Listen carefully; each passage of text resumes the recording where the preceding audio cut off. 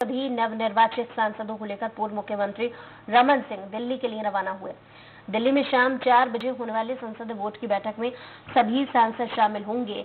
साथ ही रमन सिंह सभी नव निर्वाचित सांसदों को प्रधानमंत्री नरेंद्र मोदी और पार्टी अध्यक्ष अमित शाह से परिचय करवाएँगे। वहीं दिल्ली के लिए रवाना हुए बीजेपी सांसदों ने कहा है कि जीत की बहुत खुशी है।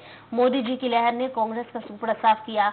आज ऐतिहासिक पल होगा। प्रधानमंत्री जी से मुलाकात होगी। अब अपने अपने क्षेत्र में विकास के अधिक काम करवाएँगे।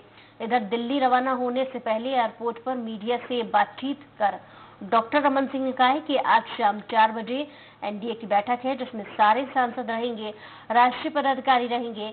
उन्होंने मोदी के चेहरे पर बीजेपी की जीत के कांग्रेस के आरोप पर कहा है कि जो तो कांग्रेस के लोग हारे क्यों?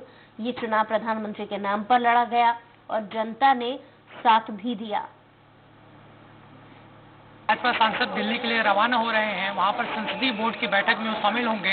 हमारे साथ कांकेर के नवनिर्वाचित सांसद मोहन मंडावी हमारे साथ मौजूद है। वो भी दिल्ली के लिए रवाना हो रहे हैं। उनसे बातचीत करते हैं। एक बड़ी जीत दर्ज हुई है। छत्तीसगढ़ में सुपड़ा साफ़ आप लोगों ने किया है। दिल्ली जा रहे हैं प्रधानमंत्री जी से मुलाकात होगी। परिचय होगा। कैसे लग रहा है? बहुत अच्छा लग रहा है। और हमारे माननीय प्रधानमंत्री के कर्मों का फल है। पूरा देश देश में एक सुनामी आ गया है ना? ये तूफ़ान सा आप देख रहे हैं। हम लोग हम लोग भी सोचे नहीं थे। उससे अधिक ये तो भोलेनाथ की कृपा है। इतनी सीट आई है। बड़ी जीत मिली है। अब कैसे काम होगा? जो राम मंदिर का मुद्दा था राम, राम मंदिर निश्चित रूप से बनेगा। मैं बताया ना जब समय आएगा तो निश्चित रूप से बनेगा और हम लोग बनाएँगे। धन्यवाद। थे कंकेर के नवनिर्वाचित सांसद मोहन मंडवी जिनका साफ़ तौर पर कहना है कि राम मंदिर का मुद्दा है। वो ज़रूर सफल होगा। जो राम मंदिर बनाने का वादा है, उसको सरकार पूरा करेगी, राम मंदिर ज़रूर बनेगा। कैमरामैन जगन्नाथ के साथ हेमंत शर्मा, स्वराज एक्सप्रेस, रायपुर। महासमुंद के सांसद चुन्नीलाल साहू हमारे साथ मौजूद हैं। वो भी दिल्ली के लिए रवाना हो रहे हैं। संसदीय बोर्ड की बैठक है। वहाँ पर आज जा रहे हैं। प्रधानमंत्री जी से मुलाकात होगी। कैसा अनुभव होगा? मेरे जीवन के लिए सबसे सुखद अवसर होगा कि विश्व स्तरीय के नेता जो है, उनके नेतृत्व में हम लोग काम करने वाले हैं। और ये जीवन का स्वर्णिम पल होगा मेरे लिए।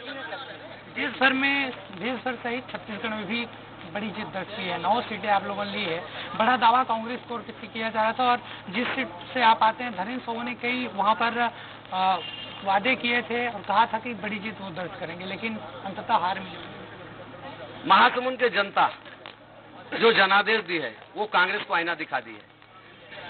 वहाँ जिस प्रकार से महासमुंद में लगातार बाहरी लोगों को थोपते रही कांग्रेस वहाँ के कांग्रेस के कार्यकर्ता को योग्य नहीं समझा कांग्रेस।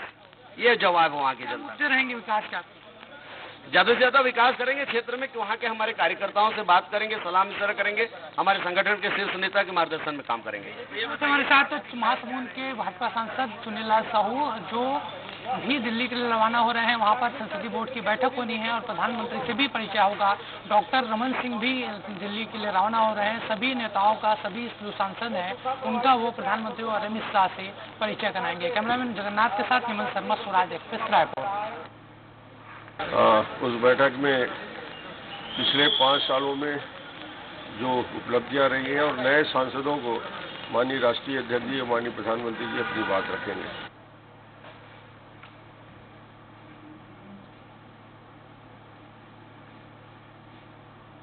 मोदी जी ने पूरे देश में जो है, के साथ में लोगों का विश्वास जीता है, विश्व में भारत का मान सम्मान बढ़ाया है। 135 योजनाओं के माध्यम से आम आदमी के जीवन में जो परिवर्तन आया, पहली बार आज़ादी के बाद में ऐसा लोगों को लगा कि मेरा प्रधानमंत्री है, मेरी सरकार है।